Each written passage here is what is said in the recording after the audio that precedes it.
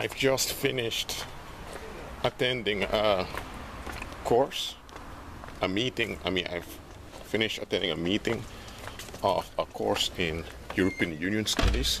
I'm doing a minor in European Union Studies, and um, we just talked about some issues that are going on in Europe. We'll need to write a policy paper and some position papers in this course, so it won't be that hard.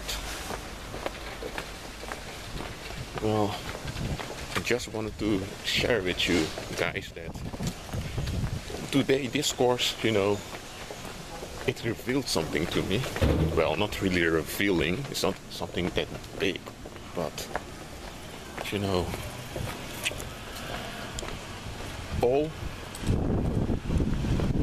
all politics in the world because politics is a part of the world. So all politics, whether it's world politics, you know, when the elites of the world is deciding stuff, or whether it's national politics or regional politics or family politics or marriage politics that also exists or politics on the playground all politics are a way of scapegoating. Now, I need to repeat this because some people won't get it when I say the first time. All politics is scapegoating. Just think about it. You see, let's take for example the demo democratic model in which you have political parties and people vote for them and the parties that have the majority they will make decisions in, in the country and they will enforce the interests of their voters so basically those people that vote for those parties you know they have a certain way they want their reality to be but they themselves cannot enforce others to conform to the way they want reality. So what do they do? They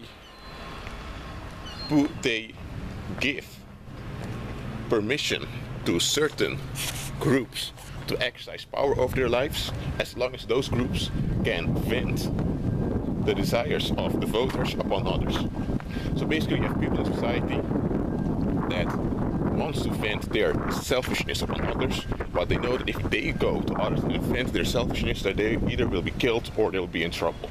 So now they want a little terrorist group or a little criminal group that wants to do it, so that when the, the group, group does it, they can blame all the dirty work on that criminal group. And that's basically how democratic elections and politics work.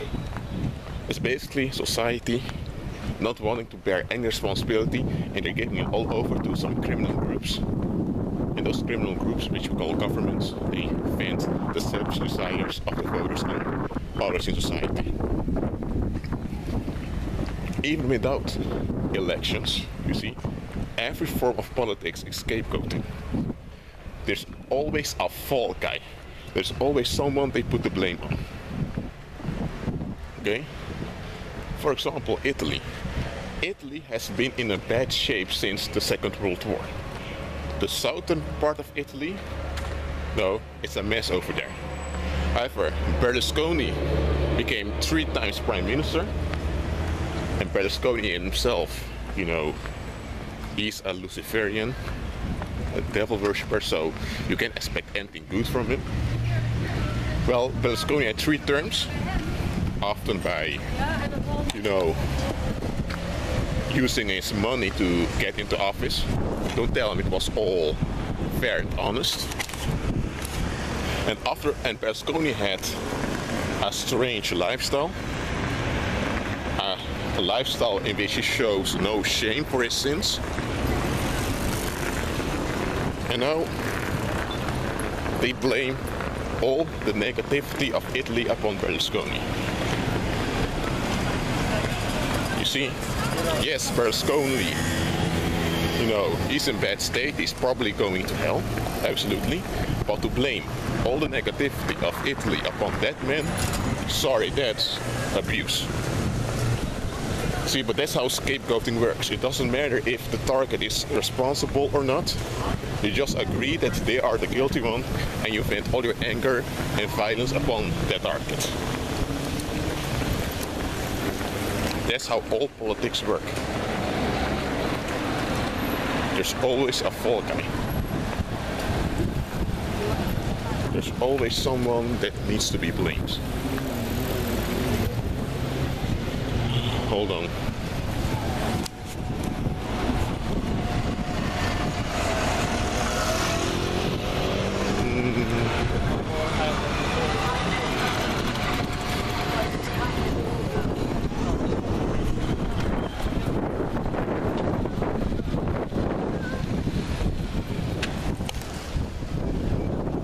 Yes.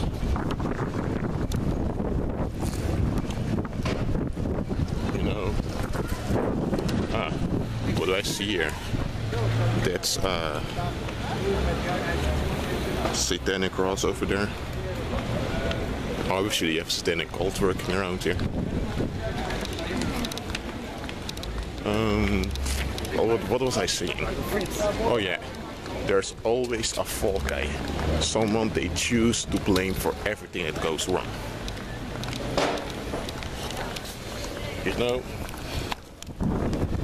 that's why, you know, we are commanded in Scripture, in the New Testament, to live separate lives from unbelievers.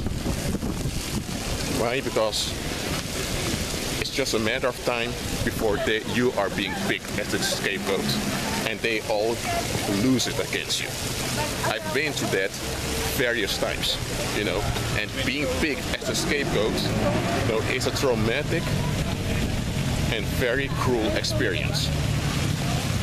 Okay?